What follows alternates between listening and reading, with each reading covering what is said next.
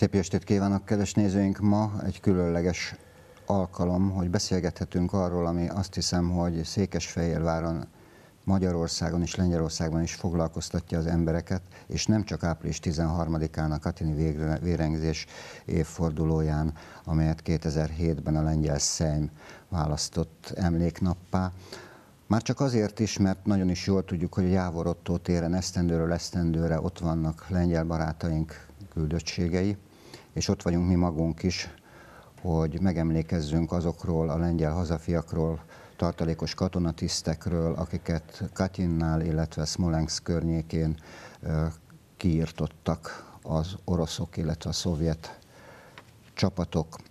Akkoriban, ugye 1940-ről beszélünk, március 5-én született meg egyébként a döntés, az aláírói között volt Beria, Stalin, Mikoyan, Molotov és Vorosilov, és ugye Nyugat-Fehér Oroszországban, illetve Nyugat-Ukrajnában fogjulejtett lengyel tartalékos tisztekről van szó, nem kevesebb, mint 20 és 25 ezer közé tehetjük az áldozatok számát. Nos, hát erről fogunk beszélgetni, még hozzá fehérvári aspektusból, hiszen azért vannak velünk két vendégem, Bobori Zoltán, a Vörösmarty Társaság elnöke, tiszteltek, köszöntelek, szervusz, és Horváth János szobrászművész, szervusz Janó, hiszen ti vagytok azok, sok más természetesen, akik ápolják a katani vérengzés emlékét itt Székesfehérváron is. Kezdjük talán azzal, hogy amikor Katinról beszélünk, akkor mi az, amit ma 2016-ban is fontos, hogy megemlítsünk a magyar-lengyel barátság mellett nyilvánvalóan? Lujkán, Hát ö, azt, azt hiszem, hogy ennek a lényege az, hogy minden nemzetnek kötelessége a saját, saját halottjainak az emlékét ápolni, de amikor két van két testvéri nép itt Európában egyedülálló módon, akkor azt hiszem, hogy kötelességünk a testvér nép hősi halottainak, mártírjainak és az emlékét ápolni, és emlékezni rájuk, és emlékeztetni. Én azt hiszem, hogy a saját önbecsülésünk, önbecsülésünket segíti az, hogyha mi ilyen leg, leg, leg, legkevesebb azt mondom, hogy méltó módon megemlékezünk a lengyel testvérnép áldozatairól. Hát a történetről meg majd beszélek. Ugye van nekünk egy nagyszerű barátunk, aki nincs itt köztünk, Andrzej Straszewski, a Lengyel Nemzetiségi Önkormányzat elnöke, és ugye nagyon sok szó esik róla a lengyel, ugye mostanában csak azt mondjuk, hogy polszki végri dva bratanki, tehát lengyel-magyar két jó barát, ugyanakkor ennél sokkal mélyebb. Janó, amikor megkaptad az első keresztre a felkérést, hogy gondoltál rá, hogy készültél rá? Hát engem úgy ért a felkérés, mint derült égből a villámcsapás, de tisztában voltam azzal, hogy mi a feladat lényege. És hát a Bobori Zoltán úr egyszerűen, egyszerűen fölkért rá, és egy pillanatig nem gondolkodtam azon, hogy ezt megcsináljam, vagy nem. Hát ismertem, igen, ismertem a, hát a történelmi eseményeket, ami ehhez kapcsolódik. De hát aztán megdöbbentett az, hogy ugye, ugye utána egy évvel kint voltunk Opolében, a Sziléziai Múzeumban, és ott hát ott egy nagyszabású beszámolót tartottak a túlélőknek, vagy a túlélőknek a, a hozzátartozóihoz. És hát döbbenetes volt, hogy kiderült például Opolébe, hogy hát nem csak a Timba volt ilyen véregzés. Bizony nem, a Krémfélszigeten is, még máshol is. És ezt nekem ott elmondták, a, mikor véget ért ugye a, hát az ünnepség vagy előadás, és ott a lengyelek mondták, hogy és sok mindenről nem tudunk. Tehát elmondták a lengyelek, hogy ott még sokkal több véregzés volt, amiről nem tudunk. És én erről tudtam, hát egyszerű megtisztel, megtisztelő feladat volt, és ezt az egyszerűséget próbáltam a keretbe is belevinni, hogy semmi túl cicomázás, csak egyszerűen ez Igen, erről majd kérdezlek, viszont Zoli, hadd kérdezem meg tőled is. Ugye azt nagyon is jól tudjuk, hiszen ott van a Doni példa, hogy szívén viseled hiszen ez is egy nemzeti sors tragédia, ami ráadásul a barátság okán köt össze bennünket a Lengyelországgal, tehát egy kicsit más. Ugyanakkor a méltóságot akkor is meg kell őrizni. Hogy fogtál neki, mert ez is egyfajta munka, kutató munka, és ebbe azt hiszem, hogy bele kell ásni magunkat, hogy érezzük, tudjuk a lényegét. Nagyon-nagyon érdekes végigmenni a, ennek a emlékkereszt állításnak a történetén, sőt most már azt mondhatom, hogy a, az emlékosztop állítás történetén. Én egy írótáborban voltam kint Lengyelországban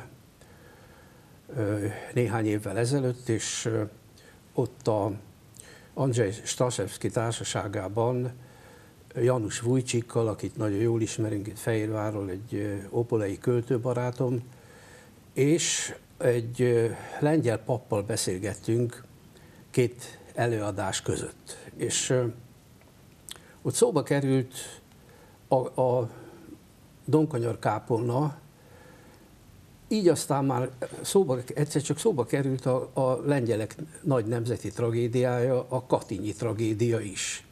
És ott, ahogy beszélgetünk, ott jutott eszembe, hogy a Donkanyar kápolna mellett ott van egy kopjafa a második magyar hadsereg emlékére, amit én annak idején ki akartam vinni a Donkanyarba. Ott van Horti István kopjafája, és hogy valahova a fák, közel a fákhoz, utalva egy kicsit a, a Katinyi erdőre, ahol ez a tragédia történt, és ahol elföldelték ezeket a szerencsétleneket, hogy oda állítanánk egy kopjafát. Na most én boldogan jöttem haza, mert mert ott a lengyel barátaim olyan hihetetlen lelkesedéssel fogadták ezt az ötletet, hogy azonnal fölhívta Janus Vujcsik a krakói érseki hivatalt, hogy, hogy mit szólnának ehhez.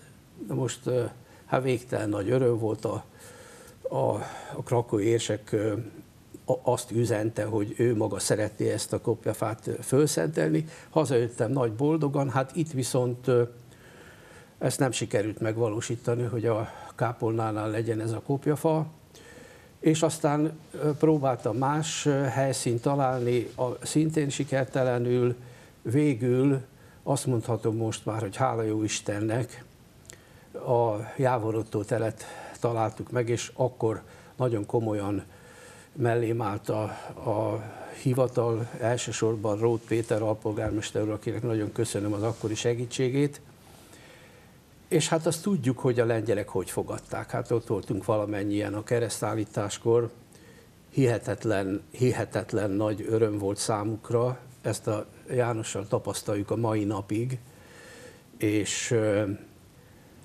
aztán amikor ez megtörtént, ez a keresztállítás, akkor a Jánosnak volt egy ötlete, hogy ő szívesen megcsinálna ennek a párját Opoléban. Én ezt el is mondtam akkor a lengyel barátaimnak, de érdekes módon csak most kapott ez lendületet ez az ügy. A, a opolai tanács külföldi kapcsolatokkal foglalkozó, nemzetközi kapcsolatokkal foglalkozó képviselője vette kézbe, hogy úgy mondjam ezt a dolgot, és akkor az Andrzej Straszewskin keresztül megüzenték, hogy akkor ezt ők, ők megcsinálják, hogyha, hogyha továbbra is áll ez a felajánlás. Jánossal nekiálltunk. Az első kérdés az volt, hogy, hogy itt csinálja-e meg ezt a emlékoszlopot, vagy pedig kint. Na most itt próbáltunk megfelelő fát szerezni, hiszen ehhez kell egy eh, több éve vagy több évtizeddel ezelőtt kivágott hatalmas tölgyfa, amit eh, föl lehet használni. Hát eh, ez, ez majdnem reménytelennek tűnt, és akkor Jánosnak volt az ötlete, hogy akkor a lengyelek szerezzenek egy fát, és ő ott kint kifaragja. Itt folytatjuk. János, akkor hadd kérdezzem meg, ugye már utaltál rá az imént, hogy amikor az elsőt elkezdted, abban gondolkodtál, hogy ez egy méltósága megmaradjon, ugyanakkor, ahogy látjuk a Jávorottó téren, akik arra sétálunk, azért csak-csak megállunk, azt látjuk, hogy ősi motívumok, és végtelenül egyszerű, de mégis méltóság teljes a történet. Ez a katonyi kereszt, ez, ez tulajdonképpen ö, egy nagyon visszafogott jel. Tehát itt, itt ö, Zolival külön ö, megbeszéltük előre, hogy ne le, én kérdeztem, hogy kell rá egyéb motivum, és hát külön, külön kérés volt, hogy csak egy egyszerű kereszt legyen. Hát aztán én, én még a keresztbe tettem bele egy kis csavart azzal, hogy a kereszt csonkított, és hát a, maga a felirat pedig a, a lezuhanó ö, ö, árokba tarkolott embereket képviselje, tehát a betűk eleve úgy vannak, és maga az a motivum függőlegesen, maga a felirat ö, ö, utal arra, hogy ott a betűk esnek le a keresztül. És a, a keresztnek meg a csonkjai, az meg azért van, mert hát közben történt egy másik katini tragédia is, amikor ugye a e, lengyel küldöttség ment e, a rendbetett katini emlékhelyet e, hát felavatni, vagy mikor már Oroszország elismerte a, ezt a tragédiát, akkor lezuhant a repülőgépük pont Katinnál. Tehát Igen. erre utal ez a propellerszerű csonkított kereszt motivum. És hát ennél többet nem akartam belevinni. Egy dolog, egy dolog volt a lényeg, hogy olyan minőségű fából legyen, ami hát kibír, kibírja a idők próbáját, és azóta is épp most beszéltük az Oliva, hogy idén is majd egy picit le kell kezelni, mert hát évente kell ezt gondozni. Ez természetesen magán, magán. Akkor, amikor most megkaptad a felkérést, tovább gondoltad, ahogy az Zoli mondta, hogy ehhez egy olyan fa kell, ami tökéletes. Tudtad már, hogy milyen motivumokkal fogod díszíteni? Hogy készül el? Mármint a, a mostani lengyel opolei emlékoszlop. Eredetileg ez az emlékoszlop nem így indult, hogy 56-os emlékoszlop lesz. Én annak idején kint voltam egy küldöttséggel, pontosan az opolei, hát a, vagyis hogy a, a, Katini kereszt után egy évvel kint voltunk egy ilyen kulturális és egyéb bizottsággal kivittek engem Opolébe, és ott felvetették ezt a kérdést, és akkor jutott eszembe, hogy hát akkor kéne egy ilyen, egy ilyen oszlopot csinálni, ennek a párját, de az csak csupán Székesfehérvár és Upole viszonylatban ez a magyar-lengyel barátság jelképe lett volna. És amikor most itt volt egy lengyel küldöttség Fehérváron, akkor derült ki, hogy hát ők inkább erre az 56-ra, és visszarodni szeretnék ezt a gesztust, amit Fehérvár tett ezzel a keresztel, hogy ők is akarnának egy, egy viszonzást, és akkor 56 jutott eszükbe, mert a lengyel nép ugye rengeteget segített a magyaroknak 56-ba, és akkor teljesen átrendeződött a, a feladat, és hát, az, hát nem improvizáltunk, hanem megbeszéltük ott a helyszínen. Én voltam egy művésztelepen augusztus, júliusban, és előkészítettük, megbeszéltük, és akkor átfogalmaztuk a kérdést, Jan Karpinskival, és tulajdonképpen akkor fogalmazódott meg ez, hogy akkor legyen egy 56-os emlékoszlop, és hát a motivumokat is megbeszéltük, hogy mi legyen, és szerintem meg vannak elégedve. Itt fotókat kaptunk Strasevski segítségével, ugye Zoltán átküldte, és azokat látjuk is majd még néhányszor, mert ezek nagyon fontos, hogy, hogy az emberfi el sem tudja képzelni, hogy egy olyan tölgyfa, amiről itt beszéltetek, milyen óriási, átmérőben és így tovább. Arról meg nem beszélve, hogy ugye közeleg a 60. évforduló. Az ötletnek is kiváló, és azt hiszem, hogy amit mondtatok, hogy a lengyel 56-os segítség az, az példaértékű, a két nemzet barátságát is szimbolizálja. Van ennek egyébként irodalma Lengyelországban, Zoli? A mi 56-unknak? Van. Van.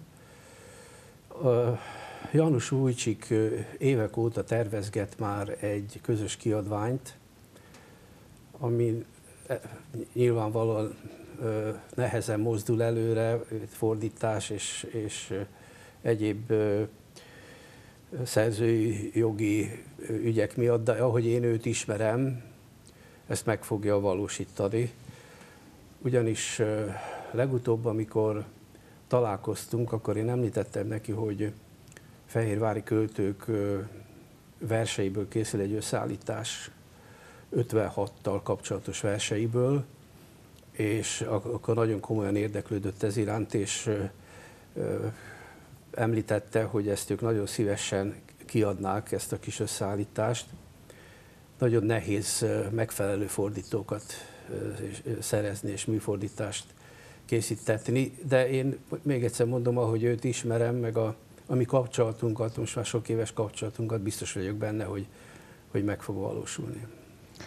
János, tehát meg volt a fa, és akkor irány Opole.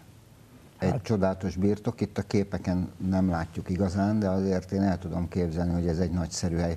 Így is bánom, hogy sajnos nem tudtunk elmenni, meglátogatni titeket munka közben. Mesélj erről a, arról a barátodról, aki befogadta ezt a tervet, hogy aztán lehessen belőle alkotni. Hát a világ legcsodálatosabb helye, ahol eddig dolgoztam, tehát ennél ideálisabb környezet nem kellett, és hát a, a szintén János Jan, Jan barát, barátok lettünk, mert előtte az Opolei művésztelepen együtt dolgoztunk, és hát amikor kint voltam a Opolei művésztelepen, akkor, akkor hát külön elvittek engem megmutatni, hogy hol fogok dolgozni, megfelele, megmutatták a fát, hol vágják el, és hát mi már előzőleg egy, több mint egy hétig együtt dolgoztunk, hát ő is fest, kiváló barátok lettünk, és hát minden gondolatomat vigyázta, mindenbe segített, iszonyatosan jó kapcsolat épült ki közöttünk, és hát nem beszélve arról, hogy maga a helyszín az egy csoda. A világ végén van, ott senkit nem zavar senki, egy ilyen, egy ilyen fantasz, fantasztikusan jó, jó környezetben dolgozhattam, és hát a, a, maga, maga a fa az előző, előzőleg aggasztott, mert egy kicsit nagynak tűnt, meg hát e, ez tulajdonképpen nem a törze a fának, hanem egy ágfa. Tehát a fának az ága. De én láttam a, a fa levágott ö, ö, szeretet, hát két méter, három méter körüli átmérő tölt fát kell elképzelni, aminek ez az egyik ága. Igen, és ez is, ahogy itt néztük... Hát ö, ö, igen, igen, amit aztán legalább hát ki kellett mennem a, a helyszínre megmutatni, hogy hol vágják el, meg, meg melyik részekkel, melyik nem. Ezt még, még júliusban, és a, a gatteros fiú nagyon szépen megértette meg, hát elég jól tudtunk kommunikálni, fölfülészelték, hát mit mondjak, először aggódtam a fa miatt, aztán a végén kiderült, hogy nincs ezzel a fával semmi baj, mert nem látni bele a fába, tehát nem tudom, mi lesz belül. Hmm. Nekem 5 centit le kellett szednem belőle bizony, hát a javarészt le kellett, le kellett fűrészelnem, és akkor kiderült, hogy semmi baj a fának, úgyhogy megnyugodtam. Eleinte egy kicsit idegeskedtem, mert láttam benne csomókat, meg ágvégeket, már mint a nyomait, de nem, nem lett semmi baj, úgyhogy bízom benne, hogy ez a fa is kitart. A köznapi ember azt hiszi, hogy ha megvan a gondolat, és ráadásul mi arról beszéltünk, hogy a szimbolikája egyszerű, hogy akkor ilyenkor szárnyal a fejsze meg a véső, de ez nem így van, ugye? Nem, nem, ez, ez fej, fejbe, a technológiája megvan, tehát hogy milyen sorrendben kell csinálni ezt. Ráadásul, ráadásul ö, ö, hát a fa mondja meg, hogy mit szabad, mit lehet vele csinálni. Na most ráadásul itt volt egy másik probléma is, hogy, hogy nekem volt egy másfajta elképzelésem, és ott a helyszínen kellett aztán véglegesíteni magát a motivumot. Ráadásul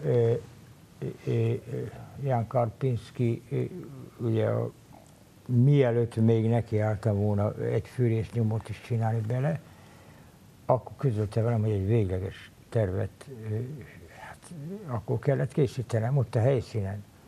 Tudnék, megváltozott az egész motivumrendszer, mert ők nem értettek egyet azzal, a, ami az eredeti elképzelés volt, és a végén kialakult mégiscsak a, ez a hármas motivum, ugye, hogy alul van az országalma, csillag, és akkor fölül meg egy virág a sírra, tulipán jelképével.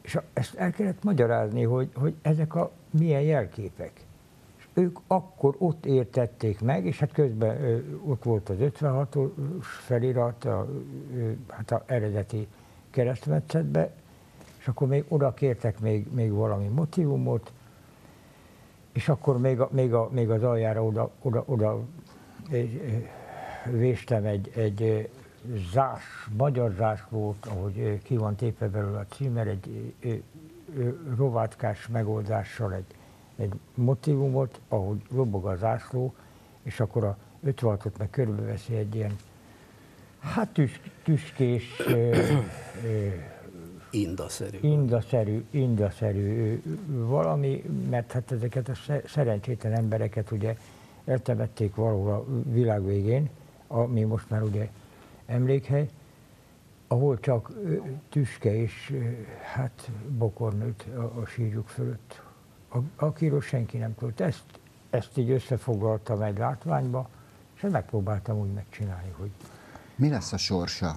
A szimbolikáját már értjük, mi lesz a sorsa, miként látjuk, miként lesz, kell életre, hiszen egy szobor akkor kell életre, miután felavatják, és az emberek látogatják, ránéznek, elgondolkodnak. Hát az első pillanattól kezdve amikor én tapasztaltam, hogy miként fogadják a lengyelek ezt a tervet, és, és Jánosnak néha voltak, különösen az elején voltak kétségei, de én mindig azt mondtam neki, hogy meg lesz. Ez az emlékoszlop állni fog. És ahogy a lengyelek hozzáálltak, én attól kezdve nem csak érzem, hanem tudom ennek a két a Katiny emlékkeresztnek és ennek az emlékoszlopnak a, a jövőjét, az utóéletét. Ez, ez, egy, ez egy fantasztikus összekötő kapocs Fehérvár és Opole és a két nép között. Ez a két jelkép. Tehát, hogy ez, ez egy élő szimbólum, abban én egészen biztos vagyok. Hát nagyon jól tudjuk valamennyien, hogy ahány lengyel jön Fehérvárra, az biztos, hogy mind megkeresi a Katiny emlékkeresztet és én gondolom, hogy ez fordítva ugyanígy, ugyanígy lesz. lesz. És uh, Andrzej Straszewskival beszéltünk uh, az úton, mert hát én vittem ki a Jánost, és aztán én is hoztam haza. Uh, sokat, sokat tudtunk beszélgetni az úton, hogy az Andrzejjel beszélgettünk arról is, hogy, hogy hát az biztos, hogy ennek a két városnak a kapcsolatában. Ez egy, mondhatni azt, hogy külön fejezetet indít el, és, és nagyon-nagyon sokat erősít ezen a kapcsolaton. Testvéri kapcsolat. Nos, a nézők talán most egy frappáns elköszönést várnak tőlem, én viszont csak annyit mondok, azt hiszem minnyájunk nevében, hogy köszönöm. Kedves nézőink, köszönöm megtisztelő figyelmüket, maradjanak továbbra is velünk. Minden jót kívánok, viszontlátásra!